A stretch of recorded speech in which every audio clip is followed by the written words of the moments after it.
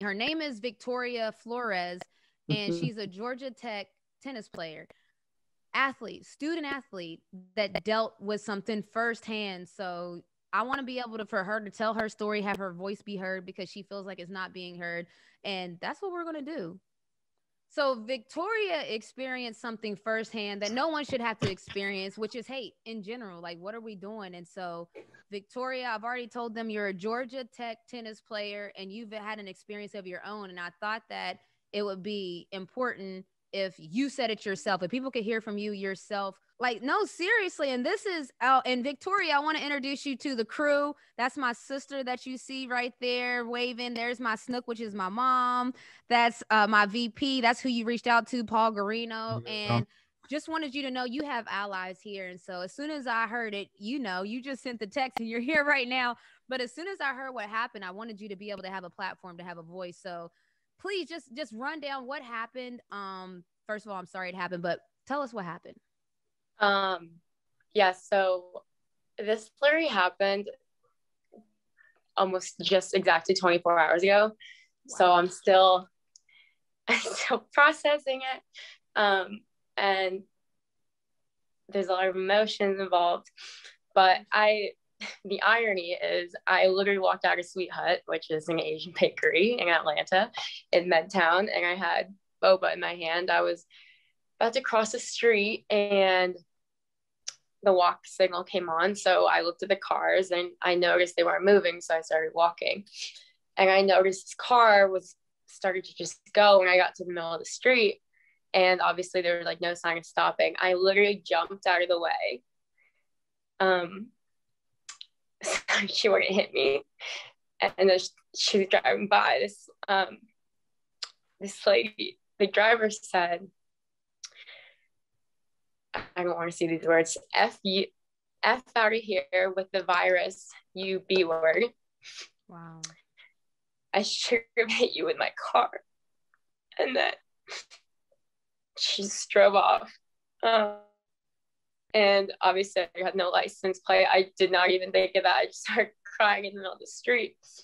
Um, and it was so interesting because the night before, I stayed up till like 4 a.m. like crying because I was thinking about how my parents are coming in two weeks and they're from we're from a small town in Fort Dodge, Iowa, and they have they experience like you know like racial slur and like really horrible comments, but obviously nothing like physically that's like close to being assault. And I just was so worried, you know, having that fear of oh my gosh, like I don't want them to come here anymore because I don't want something to happen to them. And then it's so interesting because then the next night like that happened to me. That's that's I'm look I like I said I'm so sorry that happened to you.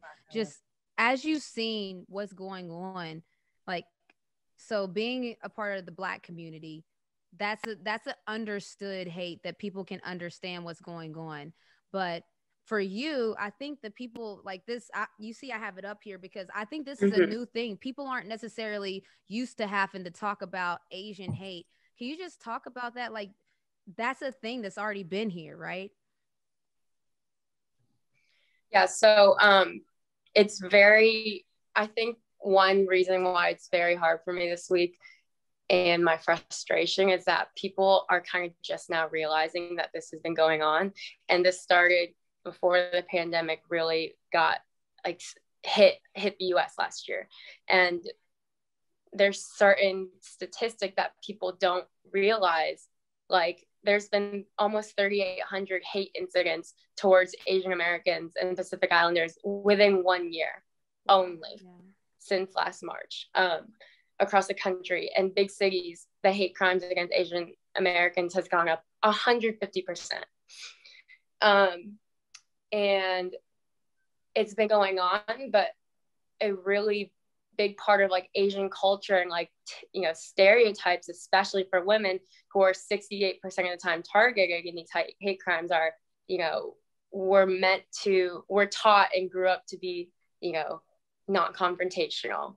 Um, you know, don't speak up and out about things, you know, just be quiet, mind your own business. And, you know, especially like with immigrants, it's all about coming to a new country, you know, living the American dream and getting a better life, providing for your family. So, you know, those things, these really, really horrible things are not as important to us in for most Asians, and that's why it's been so like shoved under the rug. And I feel like now because that happened this week, people are finally realizing it. And it's just been sad because I've already known this is going on for so long. Yeah. No, I understand. And so for me, you know, you talked about having a having your voice be heard. So if you had to have your voice heard, if you wanted people to know something, because it, I just had an interview with Jeremy Lin. The same thing happened, not not the car incident, but he was called coronavirus on the basketball court. Yeah. And he talked about just that experience of, you know, just first of all, I don't even know how to, I can't even put it into words, but he was just saying that, you know, he wanted to use it almost as a learning lesson, like so that people can learn that, yeah, you guys might think this is funny, but it's really not funny. Yeah. Yeah. And that's exactly why I had I knew I should text Paul because I Paul is like the coolest manager ever, and he just yeah, like let's go, he talks to me like a normal dude, and you know, um, for some reason I just had this like kind of like that rage, you know, that anger that I need to do something because my dad was telling me last night don't be sad don't worry this will be a blessing in disguise because you can use this to like amplify the voices that have been silenced. And that's mm-hmm. also something that as a fellow minority i understand that our culture especially in his american history has been silenced the same way when we are in school and we learn about history, we learn about white history. We learn about it from a white person's perspective, not a black person's perspective, yeah. especially from the South. And there are things that I'm learning. Like I was watching this video of this like congressman talking about how the most decorated like military unit in like history ever was composed of all Asian Americans. And that's something I've never even heard of, you know? So it's like it's just we've been silenced for so long and i'm obviously the opposite of any asian stereotype. Like i will mm. never not speak out which is why it. i i literally said i am the worst and i am not the asian to mess around with in atlanta.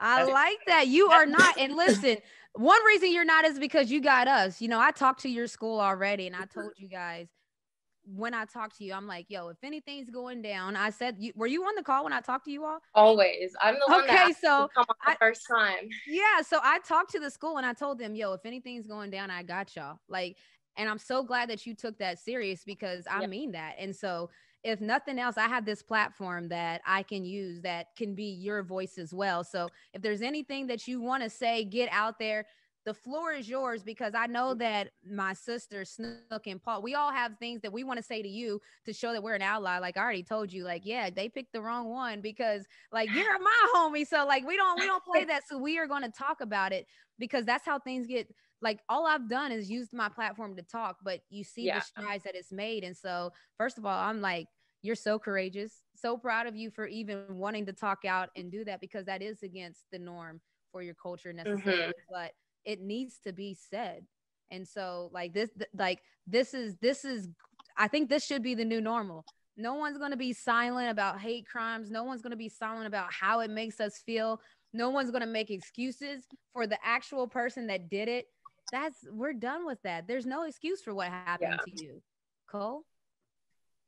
Uh, yeah. It, uh, you know, I have a son who's, I have two sons that are in college. Well, actually three, but two sons that are in college that are away at college. I have one that's closer. And you talking, it terrifies me because it's like, um, you still are some you're still somebody's child and that these people are just not somebody is somebody's sister brother child and for them to just think of that person as not a person is absolutely disgusting to me um, what I've always said that needs to happen in these situations, and a lot of times, like you said, it was you were just so upset by the situation, you didn't get the information, you know, you were just so happy that you were not hit, not assaulted by this. But we have to, and we don't want to because, like you said, it's that not speak up, it's that keep your head low, keep going, keep moving, move through it we have to start persecuting these people, or prosecute these, sorry, prosecute, prosecuting these people. Like these people need to be put in the system. As soon as you put them in the system and it costs them money and time away from their jobs and fines and stuff, they'll stop doing this. But the fact they're cowardly and do this and then run away, we have to start holding these people accountable because if we do it, they're going to hold us accountable.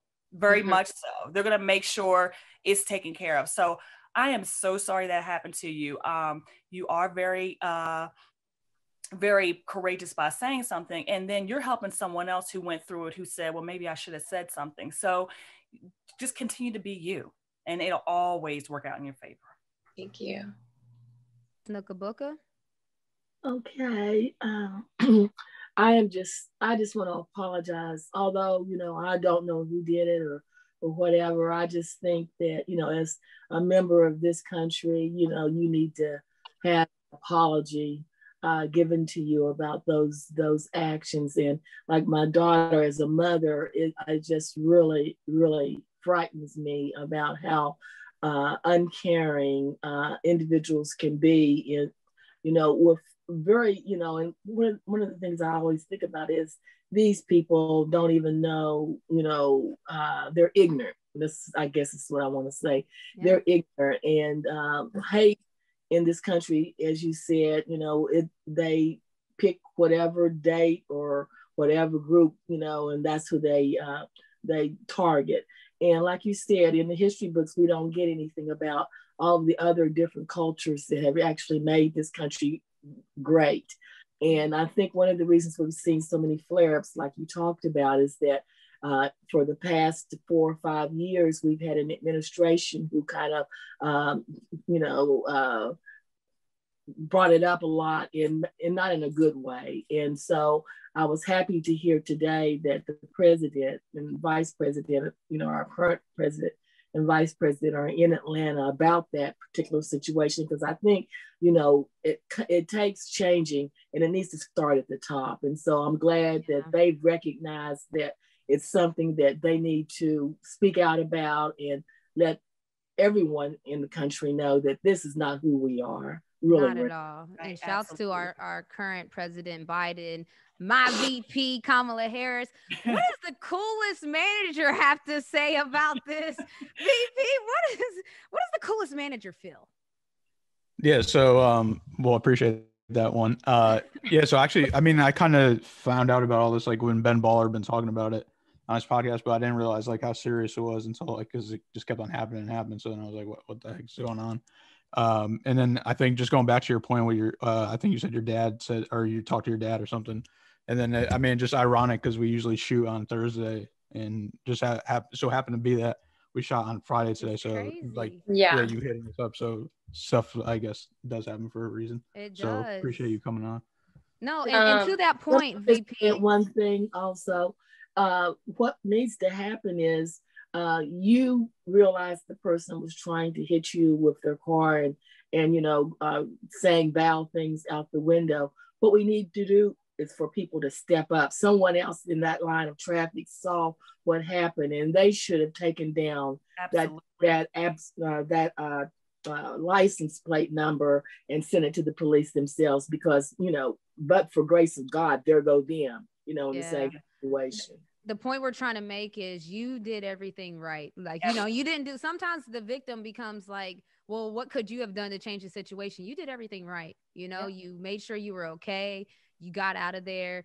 The point is that the hate has to stop and whether it's hate against black people hate against the asian community like can we just like get past that is the whole point i know you got a practice to go to and so we're not going to keep you any longer but victoria thank you thank you thank you so much for being thank courageous you. enough to come tell your story because like my sister cole said somebody's going to hear your story and probably tell theirs now and it's and it's going to be a domino effect so thank you for coming yeah. on here yes. and, and talking to yes, us. Thank you and be blessed. Thank, thank you. And yes. the funniest thing is that you said that the president and the vice president are coming. I already told Stacey Abrams and Raphael Warnock, so you best believe this you is the wrong person. there you go. Wrong person to come at. Yes. I love that. And that's what you do though, Victoria. Yeah. You're doing everything right. Let it be known so that people will feel empowered to let us know and let everyone know what happened to them and then we can start holding people accountable to Snook's Mhm. point. So again, you have allies in all of us and and we'll be we'll we got your back. Okay. Just know we got your back. And, and not to mention, Yeah. just one last thing before you go, not to mention, it's good that the school knows too, because there's a lot of Yeah. kids and they know that these kids are here without parents a, a lot of the Mhm. times in college Yeah. campuses. So they feel like these people are target because where's your family? Who's going to be Yeah. your, back, you know, your backbone? But you got a backbone here. We your Because family. we Yeah, I'm gonna the let you know right now. here. Tell So your parents you got family you here. You got a It's us. backbone here. and that's sorry just one more point i mean uh, there's obviously a million things i could say right now but i think the most sad thing is that i went on a walk yesterday around my campus and our georgia tech is made up of like half of asians like half of our student population are like asians mm-hmm. and every single asian i walked by head down walked as fast as they could tried to be invisible and it reminded me of the work that i love to do is social and racial injustice. Like that's mm-hmm. obviously that's how we met.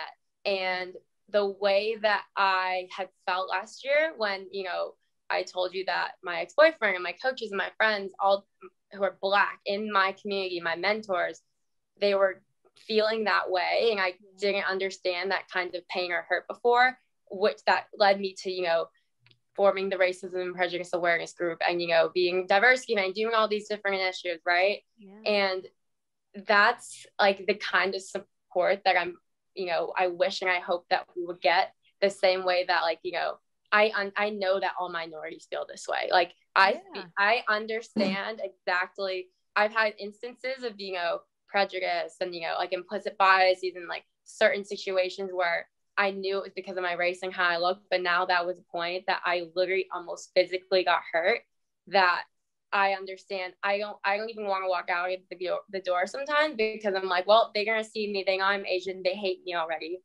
and that's the saddest part. And that's what I want people to understand. Is we can't change like you and everyone on this call. Like, we can't change how we look if we're dark or we're brown or we're black.